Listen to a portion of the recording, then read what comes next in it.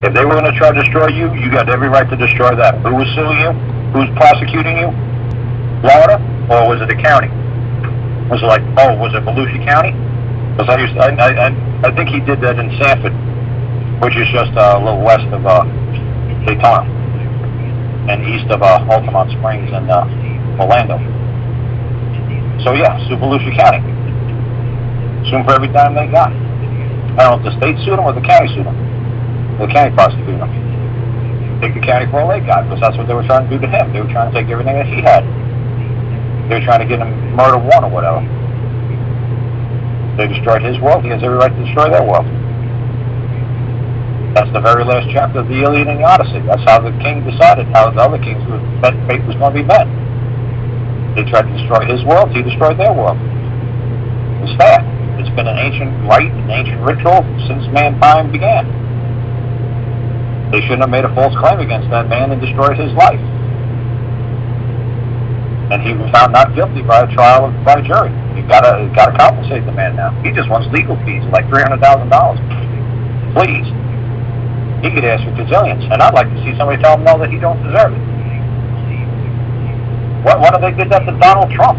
What if they did that to Bill Gates? What if they did that to Warren Buffett? These guys worth billions. What, do you think these guys would sell for three hundred thousand dollars? What makes Warren Buffett's life any more valuable than uh, Zimmerman's life or O.J. Simpson's life? Nothing. So it's interesting. It's interesting how I would uh, love to talk to Zimmerman or O.J. Simpson. I've had fun. Maybe they'd understand what I was doing and say, holy crap, you're right. Like, hey, you want to read the Iliad and the Odyssey? Oh, hell, let's just skip to the last chapter.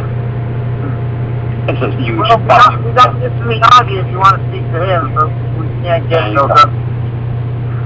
Well, like I said, it's very simple, man. War is very simple. It's been the same way for tens of thousands of years, man. Nothing's changed since caveman time. Nothing. I love reading the stuff from like 1500s or 1600s, and they'll say, they actually say that, like if you read Coke or Littleton, they'll actually say in these modern times, you're looking at like 1490, you know, when they still thought the world was flat. In these modern times, we at the law society, our legal society, believe it's like, oh Jesus, in these modern times. 1490. Yeah, you, didn't you guys still think the world was flat? so it's funny when you hear that everybody thinks that their society is the enlightened society and the, the cultural elite, and everybody who's sitting on a bench are the supreme, smartest people on the planet. And then you go, oh my God. You know what? Basically, though, all the rights and all the wrongs have always basically stayed the same. Doing wrong was always wrong. Doing, you know, doing the wrong thing, there's always some sort of consequences or compensation due. They